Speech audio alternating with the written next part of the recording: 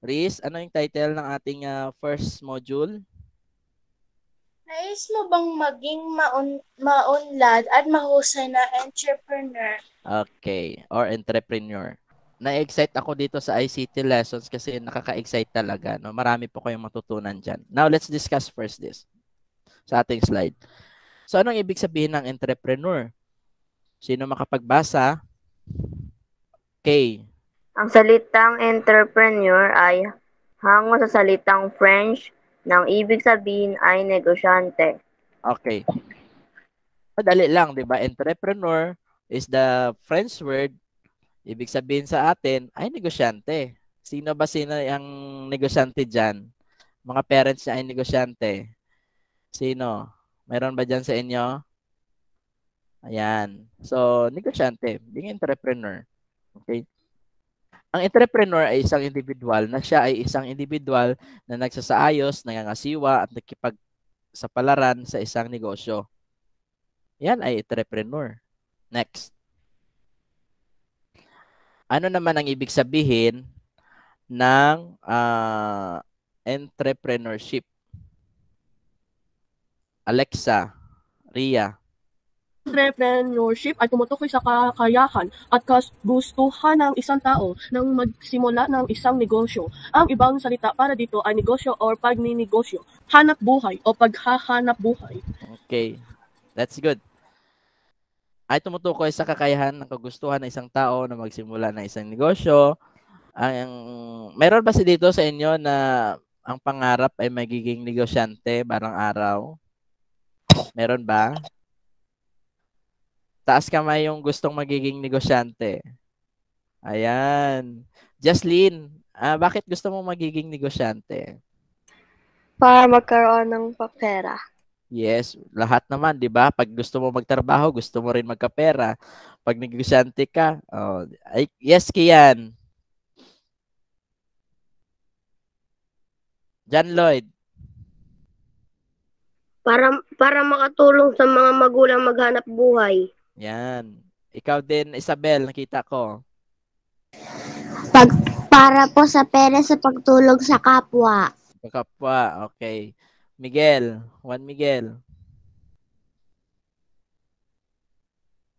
Para makato- makatulong sa pamilya sa sa buhay.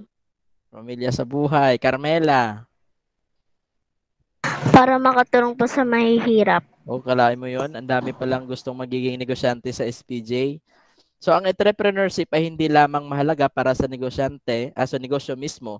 Ito ay may malaking papel sa ekonomiya ng isang bansa. Lumilikha ito ng bagong trabaho. Ito ay nagdudulot din ng paglago ng ekonomiya. Alam niyo ang pagiging uh, negosyante ay malaking tulong po 'yan no sa ating mga uh, sa ating ekonomiya no sa sa bansang Pilipinas kapag kayo ay nagnenegosyo. Ngayon, sabi nga ng iba, gusto ko magiging negosyante tapos yung iba ay mabibigyan mo rin ng trabaho. So sa palagay nyo ba ay marami kayong matutulungan kapag kayo ay nagnenegosyo? Opo. Opo. Opo. Yes. Opo. Halimbawa, Opo. Uh, isa sa inyo, pagpalagay natin si Sino ba ditong gawin kong sample? Ah, si Arabella. Si Arabella ay magiging negosyante balang araw. sample lang ito ha. So, dahil negosyante siya, si Tristan ngayon ay naghahanap ng trabaho. Sabi niya, Arabella, baka gusto, gusto mo magtrabaho na lang ako sa'yo. Ako naman ay isang accountant. Gusto mo ba i-hire na lang ako? Sabi ni Rabela, dahil magkaklase naman tayo, sige, pasok ka sa kumpanya ko. Wow, bigatin. Ikaw na ang kukunin kong accountant. Tapos si ano naman, si Riz, kasosyo naman siya ni Arabella. Oh, nagiging negosyante din. Tapos si, nag-hire naman siya ng mga, lahat ng mga katrabaho niya, lahat ng mga nagiging uh, tawag doon empleyado niya ay kaklase nyo rin no, sa SPJ which is magagaling. Ang negosyante ba ay nag-hire ng hindi magaling na trabahador? Hindi po. Hindi po. Yes. Hindi po. Hindi po. Hindi Hindi po. Yes. ang mga negosyante ay marunong po yan pumili no ng mga mga katrabaho o mga nagtatrabaho sa kanila. Kaya nga bago kayo pumasok, pag gusto niyo magtrabaho, ay mayroong tinatawag na interview, tinitingnan yung mga documents nyo, saan ba to graduate, no? Sa ERIS pa. O kapag sa ERIS graduate, sige, pasok na 'yan. pag hindi ka sa ERIS graduate, ay hindi yan papapasukin. No? Parang ganon. Bakit kaya taga ERIS yung gustong i-hire? Kasi magagaling yan pag sa Aries. O, see? So, example lang po yan. Kapag kayo ay nagiging negosyante o nagiging entrepreneur, marunong kayo dapat pumili ng inyong mga magiging empleyado. Gets nyo? Yan. So, kapag kayo nagsisimula pa lang sa pagnenegosyo. Next, mayroon mga iba't ibang uri ng negosyo na tinatawag. Ito, anong uri ng negosyo itong nasa larawan? Restaurant. Car- Carmela. Restaurant po. Oh, restaurant, di ba? So, sinong nangangarap na magkaroon ng sariling restaurant? Ah, yan. Si, ay, si Isabel, si Carmela, John Lloyd. Yan yung mga mahilig kumain. Joke lang. restaurant, restaurant. Gusto restaurant ang negosyo. Para libre na rin yung food, di ba? si Rain, ayan si... Hindi ko makikita tong pangalan niya, no? Si, uh, si Eliza, ayan. Yung mga TikTokers dyan, ayan. Mahilig sa TikTok. Okay. Ayan, rest, that's restaurant, no? Next. So, ano ang ibig sabihin o ano ang serbisyo na binibigay ng restaurant sa mga tao? Uh, Tristan. Anong serbisyo ang binibigay ng restaurant na negosyo? Pagkain po. Andiyan na nga sa screen eh. Basahin mo nga, Tristan. Nagbibigay serbisyo sa mga mamamayan sa mga paghahatid ng masarap, masasarap na pagkain. Yan. Kung ikaw ba ay may isang restaurant, gusto mo bang uh, mag-serve ng masarap na pagkain o bigyan mo ng lason yung mga customers mo? ano doon? Lalasonin. Siyempre, ang iyong objective o layunin ay makapagbigay ng masasarap na pagkain. Pag hindi masarap yung sineserve ng isang restaurant, kakain ka ba bilang customer? No. Siyempre, Hindi po. na. Hindi po. Hindi po. Yan. Pupunta kayo ng Tagaytay. Sino nakapunta ng Tagaytay? Ako Okay. po. Ako hindi pa eh. Hindi pa ako nakapunta sa Ako po. Tagaytay. Ako hindi po. Tapos pag dinala kayo sa Tagaytay ng inyong mga magulang, mayroon yan sila pinupuntahan. Sabi niya doon tayo kakain sa paborito naming kainan, yung bulaluhan. Di ba? Dadalhin ka nila doon sa lagi nilang kinakainan. Bakit? Dahil yun ay Masarap. Masarap ang mga inihandang pagkain. Okay? Next. Ito, anong uring negosyo ito? Barbershop po. Barbershop. Ano pa? Salon po. Salon. Tingnan natin. Salon. Salon. salon. Salon pass. Okay. Parlor. So, Diyan nagtatrabaho tatay. Ay, dyan. O, galing ah. Palibre naman. Kahit gupit lang. Joke. so, parlor, Salon salon, barbershop, etc. No, para pareho lang yan. Uh, term lang yung pagkakaiba. And services, of course. Basta ng gupit ng buhok, sabi nga na iba, barbershop po yan. Pag pinapaganda ka, salon yan. Pero yun, the third term, kahit ano man yan, ay- yan pa rin ay isang uri ng negosyo. Ano naman ang kanilang serbisyo nito? Gian, Amber. Nagbibigay serbisyo sa mga mamamayan sa papapaganda, pagupit at iba pa. Ayan. So, kung gusto mong gumanda, lalo, saan ka pupunta? Sa restaurant o sa parlor? Parlor. Sa parlor, po. Parlor po. Ako, kung gusto ko, lahat puntahan ko. ano mo naman yung ganda kung gutom ka. Okay, so sa parlor kayo pumunta pag gusto nyong magpaganda, no? Hindi doon sa hardware ha. Baka mamaya gusto ko magpaganda, saan ka pupunta? Sa hardware po. ano yung bibili mo doon? Martilyo? Okay. So sa parlor, okay? Pumunta ka kung saan. Sino may gusto na negosyo na ganyan? Magkaroon ng sariling parlor. Oh, wow. Si Kian gusto magkaroon ng parlor ah. si, si Cyril nag-raise ng hand. Gusto magkaroon ng parlor. okay. So yan. Next. Ay, tapos na. Oh, at least mayroon na tayong idea sa negosyo. Tingnan natin. Isulat ang salitang tama kung ang sinasabi ng pangungusap ay tama at M kung mali. May papel ba kayo? Meron po. notebook po. Opo. Okay, sige. Opo. Sagutan na. Sir, pwede po red ball pen. Bahala ka. Kung may purple ka na ballpen, di purple. Kung green ballpen mo, sige, bahala ka. Basta makapagsulat ka. Mabilisan lang. Number one, ang negosyo ay dapat walang personal touch basta nasisilbihan ang mga mamimili. Number two, sulat agad. Lahat ng mamimili ay dapat komportable at nasisiyahan sa serbisyo.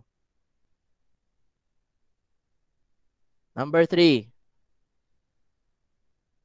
Baka mabagal kayo magsulat ha. MLAT saka letter T lang naman isusulat nyo eh. Two, kailangang serbisyong mabilis at nasa tamang oras. Four, ang serbisyong matapat ay di kailangan sa negosyo.